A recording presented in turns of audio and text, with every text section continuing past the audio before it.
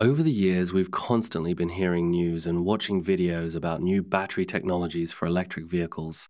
With the exception of solid state batteries, almost all of these alternatives are claimed to be significantly cheaper than the lithium ion batteries currently used across the industry. One of them is even said to be 90% cheaper than LFP batteries. And clearly, the term game changer has been way overused, hasn't it?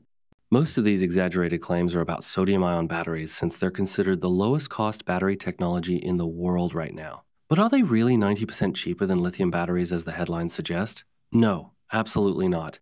Basically, they're lying to you.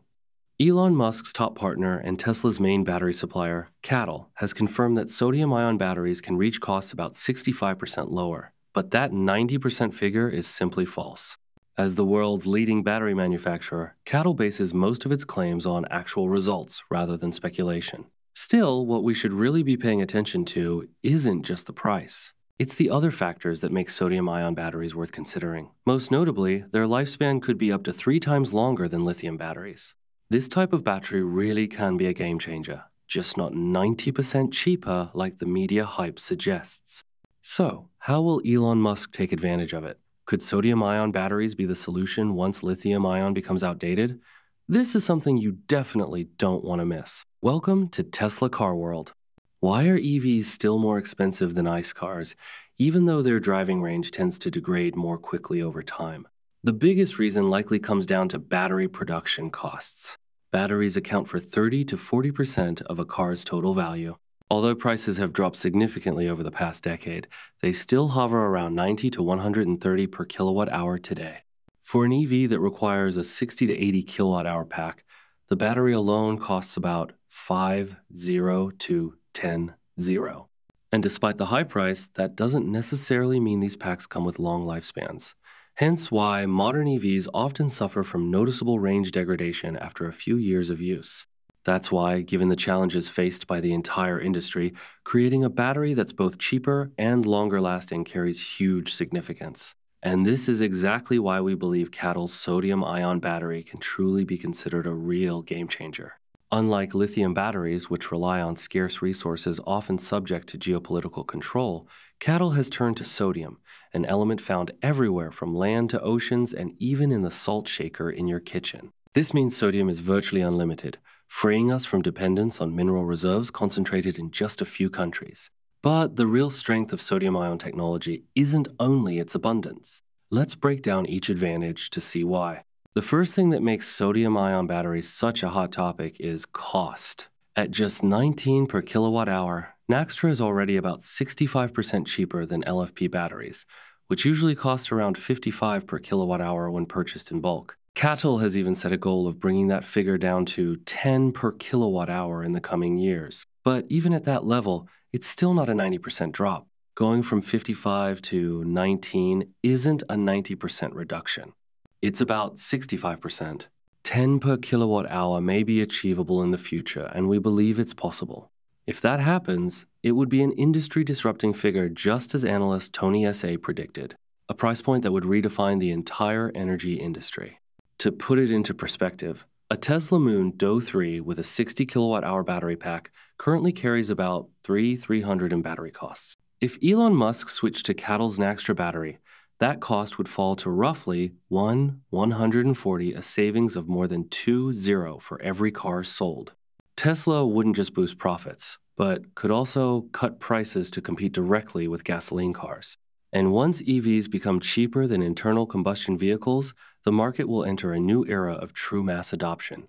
Maybe you don't know, but BYD, LG Chem, and all the other major battery manufacturers are in trouble because the batteries they produce more than anyone else have become outdated and far too expensive, especially when it comes to durability. And the 19 per kilowatt cost is only half the story.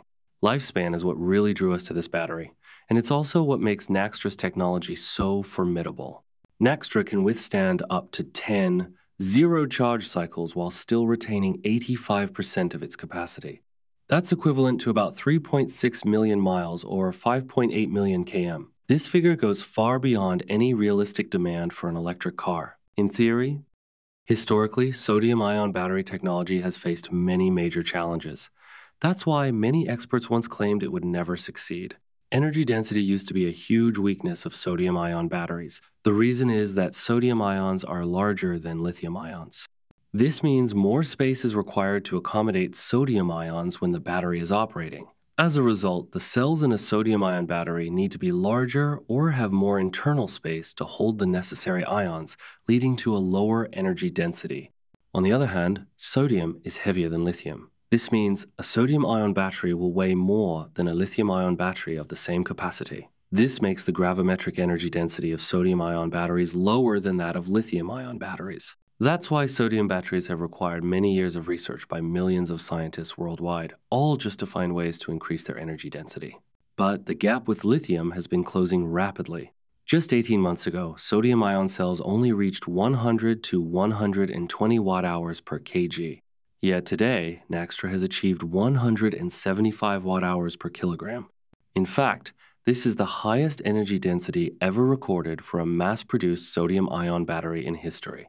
Its density is now comparable to LFP batteries, which are widely used today, including BYD's Blade battery that Tesla installs in its Model Y in Europe. However, that refers to the older generation of Blade batteries. A new version with higher energy density is already in development. CATL's upgrade of sodium ion batteries from 120 watt hours per kilogram to 175 watt hours per kilogram in less than two years opens up the prospect that in the coming years, Naxtra batteries could fully catch up with or even surpass the most advanced LFP batteries. According to CATL, the tested Naxtra prototypes are expected to give electric vehicles a driving range of 310 miles on a single charge. Of course, we have to acknowledge that Naxtra's 175 watt hours per kilogram energy density is not groundbreaking. Compared to Tesla's 4,680 battery at 272 watt hours per kilogram, the gap is still quite significant. CATL aims to bring sodium ion batteries up to 200 watt hours per kilogram. But given the current pace of development, it's clear that achieving the target will take more time. However, what truly makes Naxtra stand out is not its energy density, but its stable charging speed. With just 15 minutes of charging, this battery can provide a driving range of up to 310 miles. While it's not comparable to the time it takes to fill a gas tank, which EV skeptics often cite, it's undeniably a major milestone for the EV industry. From a scientific perspective, the key lies in the movement of sodium ions during charging and discharging. In Naxtra batteries, sodium ions shuttle between the anode and cathode through the electrolyte.